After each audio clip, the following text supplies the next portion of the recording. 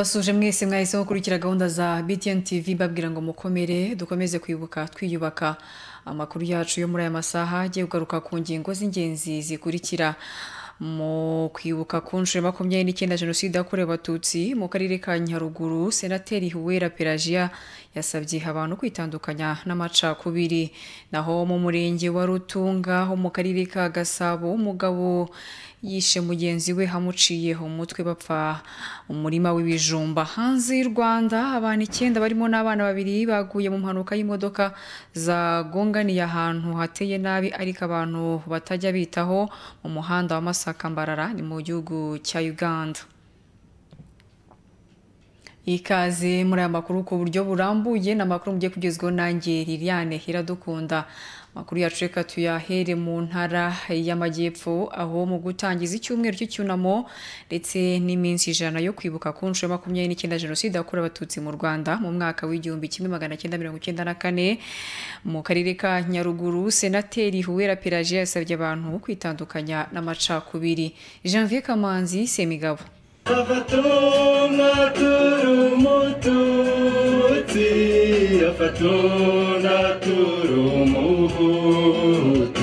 Nyuma y'imyaka makumyabiri n'icyenda jenoside yakorewe abatutsi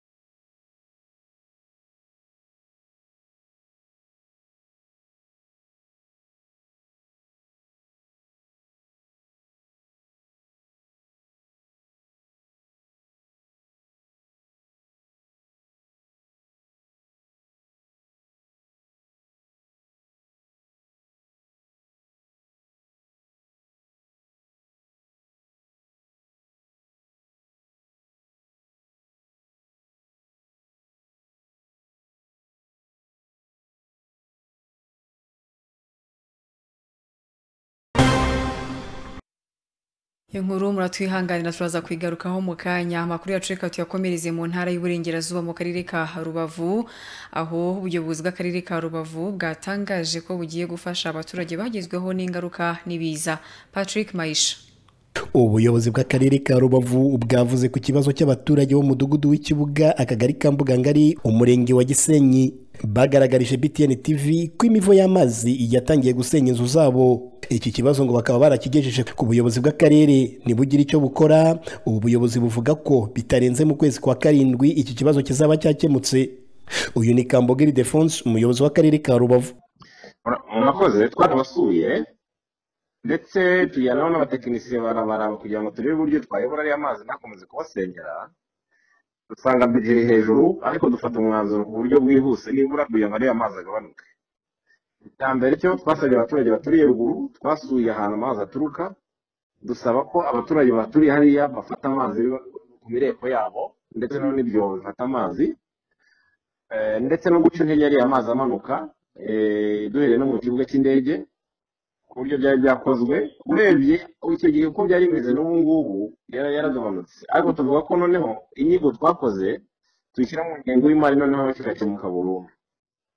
Ni uko nguko twacyanzuye guhera mu wa karindwi ni cyo tuzitaho kijyanye no gukemura ikibazo cy'amazi kibangamiye abantu aho ngaho muri mbugangari aha ni mu ngo z'aba baturage aba baturage bavuga ko bazengerejwe n'amazi aturutse ku makosa yakozwe n'abakoze umuhanda wa kaburimbo kuko bayoboye amazi mu ngo zabo ibyo babona ko barenganye. Ubwo umunyamakuru yageraga muri uyu mudugudu abaturage bamweretse rigore yagombaga kunyuzwamo aya mazi gusa bayicumbikishije hafi yabo. Bahitamo kuyobora amazi mu ngo z'aba baturage. Ahageze yasanze mu bipangu amazi yatangiye gukama ahandi wagira ngo ni ikiyaga. Bafite impungenge z'abana babo kuko kenshi bagwamo bavuye ku ishuri mu gihe cy'imvura bagahora barinda abakiri impinja kwegera aya mazi menshi areka mu bipangu byabo. Bidutera ingaruka ko urabona ukuntu amazi aza agacengera mu gipangu akajya mu gipangu n'igipangu kimaze kubora none n'ejo gishobora kugwa. Dufite impungenge ko hari igihe abana bava ku ishuri bukumva ko bashaka kwambuka bajya mu kiriya gipangu cyo ku baturanyi bakabura aho baca bikaba ngombwa ko bazenguruka bakazenguruka hirya kugira ngo babone aho baca. Icyifuzo cyacu ni uko baza bakareba iriya rigori yacumbitswe bakareba aho bacisha amazi kugira ngo tubone uko natwe tugira amahoro kuko inzu zigiye gusenyuka kandi mu by'ukuri ziramutse zisenyutse ntabwo bashobora ntabwo bazatwubakira. Birangiza cyane. Nawe urabona aya mazi ari imbere y'inzu ni ukwangirika gukomeye cyane. Ndetse n'andi urabona ko twubatse igipangu. Ntabwo dushobora no gusohoka. Ni ikibazo. Iki kibazo kimaze imyaka irenga itatu amazu y'aba baturage akaba agiye kuzabagwaho kubera ko aya mazi yayobowe n'abakoze umuhanda ni mu gihe bahawe isoko n'akarere ka rubavu. Patrick mayisha btn tv mu karere ka rubavu mu ntara y'uburengerazuba bw'u rwanda.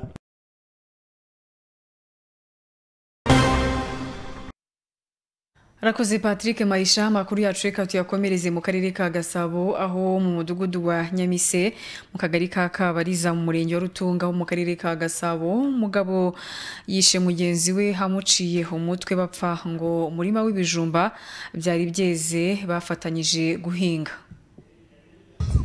Mwihangane eh, kubw'ibyago twagize Eh, ngira ngo ntimwajyaga mubona abantu baza kubafotora. Ntabwo ari byiza barimo badufotorera Eh, so rero ah, mwakoze kubanza kwitabira ah, ni cyo cya mbere tubashimira. Ariko kugira ngo tuganire namwe kubw'ibyago twaraye tugize. Tubashe gufata ingamba ah, z'uburyo twakwitwara kugira ngo hatongera kuboneka igikorwa nk'iki. Gahita sibyo? Ko ndibwira ko nta muntu wagishyigikira n'umwe. Iki kintu cyabaye ni ikidasanzwe. Cyatunganye noneho kuri iki munsi w'itariki zirindwi z'ukwa kane amakimbirane arahari cyangwa eh, ikindi kibazo eh, cy'umutekano muke mu murenge wacu ni ikintu cyaba gitunguranye aho umugabo witwa ntibiringirwa eh, Eric yishe umugabo witwa Imanizabayo Silvestre yamutemye. Ariko amakuru ni uko bapfuye umurima w'ibijumba aho uriya eh, eh, Imanizabayo yakuraga umugore we yakuraga ibijumba uwo umugabo wishe ashwana n'uwo mugore wamwaka ibyo bijumba ariko uwo murima n'ubundi ni uwa nyina wa Eric.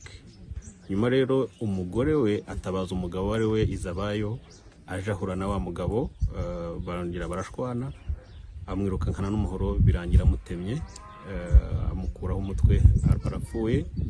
Arongera nawe agenda ahungira mu rugo rw'iwabo eh, birangira nawe afashe none umuhoro ashaka kongera gutema n'abandi asohoka agiye kurwanya inzego z'umutekano birangira nawe yishwe.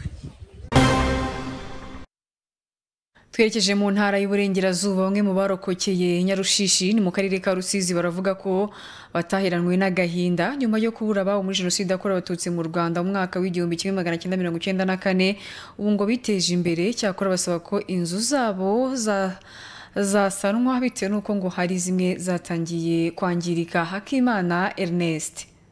Iyo uvuze nyarushishi abenshi bumva inzira y'umusaraba baciyemo bahungira muri iyi nkambi ubwo jenoside yakorewe abatutsi yabaga. Bamwe mu baharokokeye bavuga ko bahageze baturutse imihanda yose gusa ngo babanje kurwana n'interahamwe zirimo n'abasirikare. Cyakora bo ngo nta yindi ntwaro bari bafite uretse kurwanisha amabuye.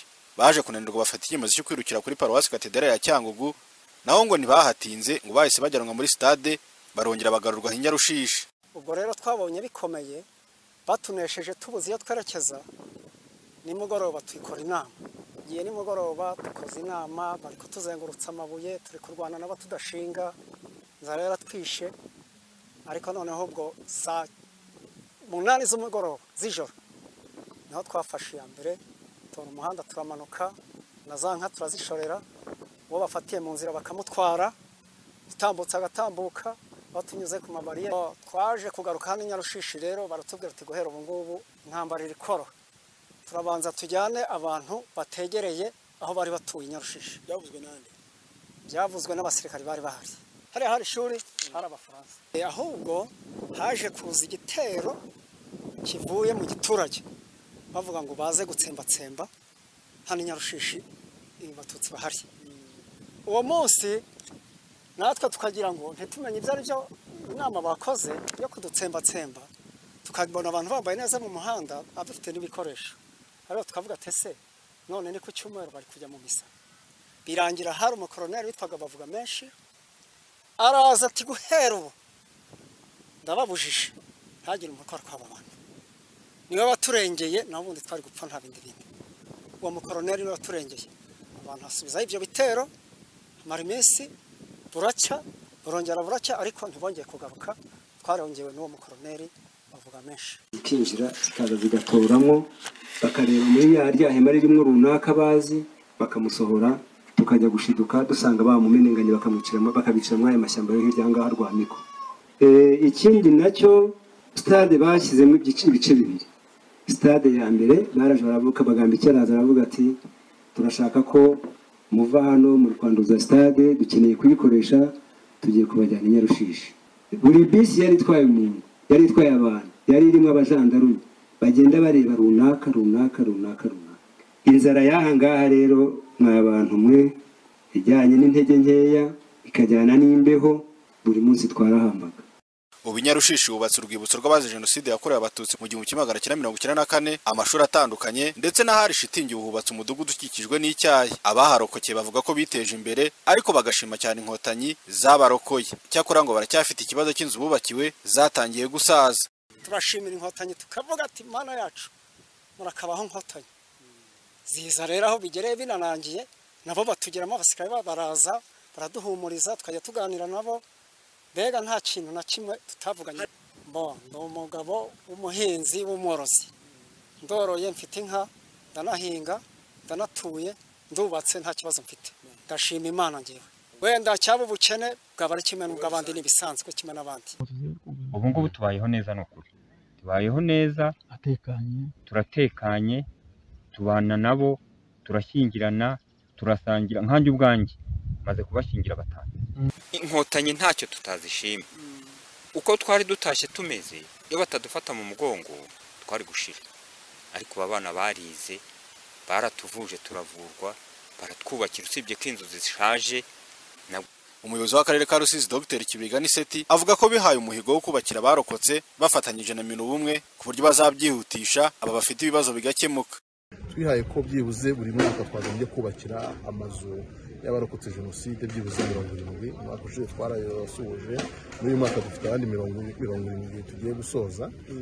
Bivuze ko ni urugendo. Ariko igishimishije ni uko mu minsi yashize hari intumwa za umwe zaje kubarura amazu atameze neza n'abandi badafite amazu kugira ngo noneho mu by'ukuri kibe igikorwa cy'igihugu dufatiye hamwe twese kugira ngo byihute. Kugeza ubu ngubu mu karere ka rusizi hari amazu arenga ibihumbi bibiri yasenyutse mu gihe abarokotse jenoside yakorewe abatutsi mu gihumbi kimwe magana cyenda mirongo icyenda na kane barenga magana atanu badafite barambika umusaya. Akimana ernest btn tv i nyarushishi mu karere ka rusizi. Akimana Ernest reka dusubire mu ntara y'amajyepfo mu karere ka Nyaruguru aho ku munsi w'ejo mu gutangiza icyumweru cy'icyunamo ndetse n'iminsi ijana yo kwibuka ku nshuro makumyabiri n'icyenda jenoside yakorewe abatutsi aho mu karere ka Nyaruguru mu ntara y'amajyepfo senateri Uwera Pelagie yasabye abatuye muri aka karere kwitandukanya n'amacakubiri.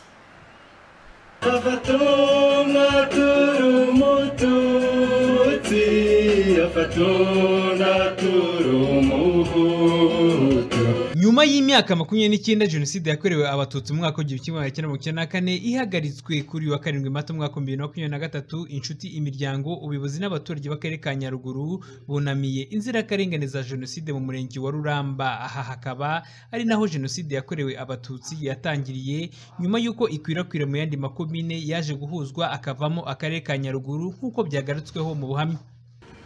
Ni segiteri yagaragaje umurava no kwihuta no kwitabira muri icyo gihe. Hari ahantu hitwaga igisorora ruguru nababwiye aho ni ho haturutse agatsiko k'abantu batangije gukora. Ndetse uri inshuti akamanuka ati bo ntacyo mugikora hano gisorora yatangiye. Nyakabere garasiyane umusaza w'imfura w'inyangamugayo ariko ni we batangiragaho. Kwaba gutwika kwaba kumuhiga kwaba kwica ni ho byaheraga. Gisorora batangiye ndetse kwa nyakaberegi baharangije igeze kutubwira uburyo uturere twagendaga tutanganya ububisha ibintu byaturutse muri gikongoro nigeze kubabwira ko twari tuzwi ibintu byaturutse muri gikongoro ntibize kubageraho. Inzu ishya ntiyaba ikiri imwe amazu agenda amanuka ashya. Senateri wera pelaji yagaragaje ko igihugu kirajwe ishinga n'ubumwe n'ubwiyunge mu banyarwanda kandi ko amacakubiri nta mwanya agifite mu banyarwanda. Turagira ngo tubabwire ko igihugu kiri mu nzira y'ubumwe n'ubwiyunge. Imbabazi basabye barazihawe. Abagifite umutima mubi abatarumva ubugome abatarumva ingengabitekerezo abatarabona ingaruka z'aho ah, jenoside yakorewe abatutsi yagejeje abo yakorewe ibikomere bafite nagira ngo rwose tubasabe ko igihe cyabo cyarangiye igihe cyabo cyarangiranye n'uko jenoside yakorewe abatutsi yahagarikagwa. Ariko nanone tugaruke kuri abo ngabo babikora ubwabo tubabwire ko ntaho bafite bakwihisha. Nibanabikora bazakurikiranwa kandi amategeko ariho ahana ingengabitekerezo ya jenoside n'ibindi bikorwa byose byayigaragaramo. Uzabikinisha rero n'uzabikora azahanwa n'amategeko. Mu rwanashyaka emmanuel mozo w'akarere ka nyaruguru yageneye ubutumwa abaturage b'akarere ka nyaruguru ko kuri ubu bagomba kubakira ku cyizere ntibabe abadaheranwa. Eh, twatangiye icyumweru cyo kwibuka jenoside yakorewe abatutsi mu rwanda mu igihumbi magana cyenda mirongo icyenda na kane ku nshuro ya makumyabiri n'icyenda. Eh, ubutumwa twaha abaturage ba nyaruguru eh, n'ubundi ni gukomera eh, gukomera kandi no gukomezanya eh, kubera yuko uh, ni ibihe bigoye ibihe twashyikijwe n'amateka mabi y'u rwanda ubwo harimo amacakubiri ndetse amacakubiri akageza no kuri jenoside. Uyu munsi rero ni ngombwa yuko tugomba kubakira ku cyizere eh, gihari tukaba abadaheranwa ah, ku buryo twimakaza ubumwe n'ubudaheranwa bw'abanyarwanda. Ah, ubwo ni uburyo bumwe bwo butumwa eh, ubundi butumwa ni uko eh, tugomba gufata mu mugongo abarokotse jenoside yakorewe abatutsi mu buryo bumwe n'ubundi. Eh, ikindi kandi ubundi butumwa ni uko gahunda uko ziteguye zose eh, hari amabwiriza ahari tugomba kubahiriza nk'abaturage twese Eh, ariko hari na gahunda eh, y'akarere eh, uburyo tuzibuka kugeza ku gihe cy'iminsi ijana. Ubwo ndasaba ah, n'abaturage b'akarere ka nyaruguru nyine kugira ngo gahunda yubahirizwe. Muri uyu muhango wo kunamira ndetse no guha icyubahiro inzirakarengane za jenoside yakorewe abatutsi zaguye aha i ruramba. Washojwe n'igikorwa cyo gushyiraho indabo nk'ikimenyetso cy'urwibutso. Muri uru rwibutso rwa jenoside yakorewe abatutsi rwa ruramba rukaba ruruhukiyemo imibiri irenga igihumbi magana abiri. Janvier kamanzi btn tv mu karere ka nyaruguru. Rakoze Janvier Kamanzi Semigabo makuru yacu reka tuyakomereze mu mahanga aho mu gihugu cya Uganda abantu icyenda barimo n'abana babiri baguye mu mpanuka y'imodoka zagonganiye ahantu hateye nabi ariko abantu batajya bitaho mu muhanda wa Masaka Mbarara. Iyi mpanuka ikaba yabaye ku munsi w'ejo ku mugoroba mu gace ka Kiyoko ubwo imodoka yo mu bwoko bwa Toyota yagonganaga n'indi modoka. Kugeza kuri ubu umuvugizi wa polisi ishami ryo mu muhanda ASP Farida Nampima yatangaje ko impanuka yakomerekeje n'abandi bantu babiri ngo yatewe n'uburangare bw'abashoferi. Yavuze ko impanuka yahitanye abantu bagera kuri barindwi bakuru n'abana bagera kuri babiri. Aho aka gace mu mpera za bibiri makumyabiri na kabiri kabereyemo indi mpanuka nk'iyi ihitana abantu bagera ku icumi. Polisi ivuga ko abantu makumyabiri na babiri bagwa mu mpanuka ijana aho mu gihugu cya Uganda naho mirongo itandatu na rimwe ku ijana z'impanuka zose zikaba ziterwa n'uburangare bw'abashoferi. Raporo y'ibyaha byabaye mu mwaka wa bibiri makumyabiri na kabiri mu gihugu cya Uganda igaragaza ko impanuka zari ibihumbi makumyabiri magana atatu mirongo icyenda n'enye mu gihe muri bibiri makumyabiri na rimwe zari ibihumbi cumi na birindwi magana ane na mirongo ine n'eshatu.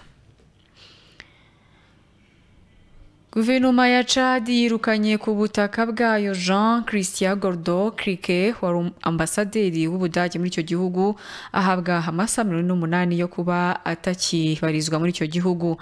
Chad mu itangazo yashyize hanze ku mugoroba ku munsi w'ejo yatangaje ko uwo mudiplomate yazize imyitwarire mibi no kutubahiriza amategeko agenga abahagarariye ibihugu byabo mu mahanga. RFI yatangaje ko Christian Gordo hashobora kuba yazize uburyo yanengaga cyane ubutegetsi bw'inzibacyuho buyoboye Chad. Muri iki cyumweru ikinyamakuru Repe gikomeye mu gihugu cya Chad cyari cyanditse inkuru kigaragaza ko akwiriye kwirukanwa. Inzobere zivuga ko Chad ishobora kwisanga mu mazi abira dore ko ngo yari imaze igihe mu biganiro n'umuryango w'ubumwe bw'uburayi kugira ngo uyifashe gutegura amatora ya kamarampaka mu mpera z'uyu mwaka. Nyamara ubudage ni kimwe mu bihugu by'inkingi zikomeye z'uwo muryango.